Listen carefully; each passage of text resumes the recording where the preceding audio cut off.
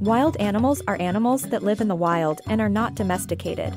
They include animals such as lions, elephants, bears, wolves, and many species of birds and fish.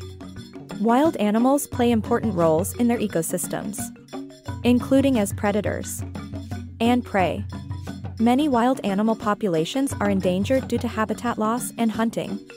Conservation efforts aim to protect wild animals and their habitats.